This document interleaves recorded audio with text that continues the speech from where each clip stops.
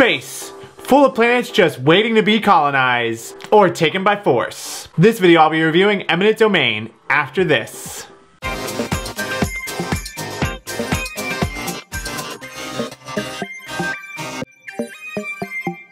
Hey there, it's Theo from Geeky Gaymer Guy. On this channel I do all things board games from top 5 lists of a specific topic, playthroughs, reviews, just like this one. Two how to plays where I expose the full rules of the game at hand. So if you don't want to miss out, think about subscribing. How will you rule your empire? Let's find out now.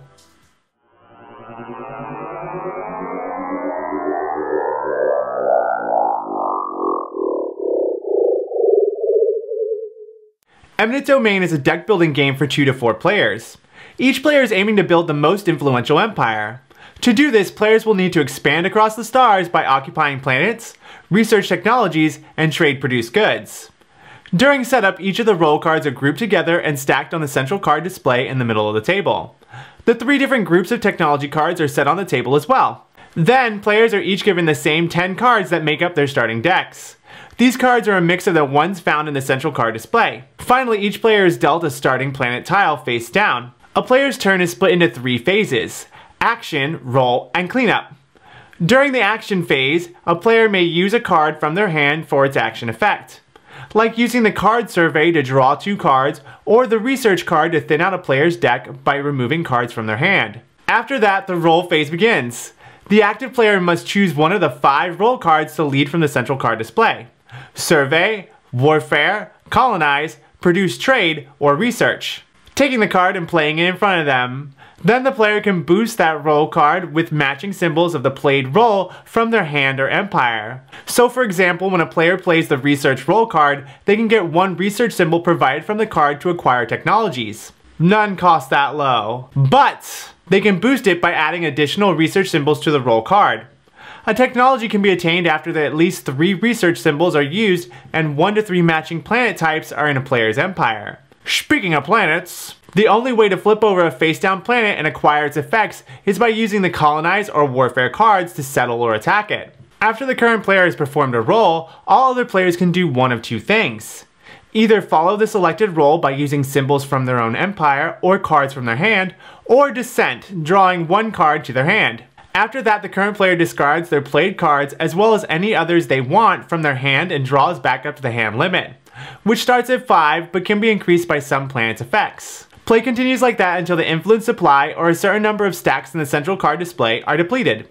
Then players have one final round to score as much influence points as possible. After that, players count up the number of influence from their face-up planets, influence tokens, and technology cards.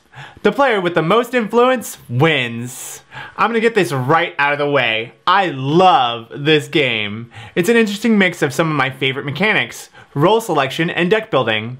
The role selection with the addition of using cards in your hand to boost it really makes for a familiar, yet unique and enjoyable experience. As you may know, I'm a huge fan of multi-use cards. What I love about these is that they have many uses but are easy to understand. Either use it for its action, role, or symbols.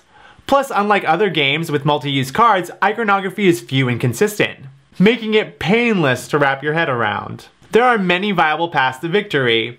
You can colonize or attack planets to flip them face up, you can produce and trade resources that some of the planets provide, or you can research technologies to bolster your hand with enhanced abilities.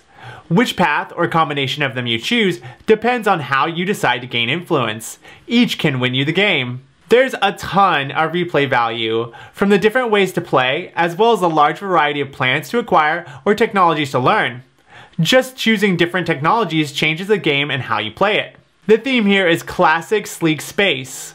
The cards have nice sci-fi art and the graphic design is clean and makes things legible to read. I also like that all the card descriptions of what they do is short and sweet.